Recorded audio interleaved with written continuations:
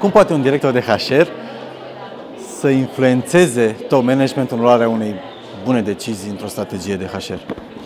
Din punctul meu de vedere, un mesaj foarte pertinent pentru top management din partea departamentului de HR este un mesaj bazat pe un business plan coerent.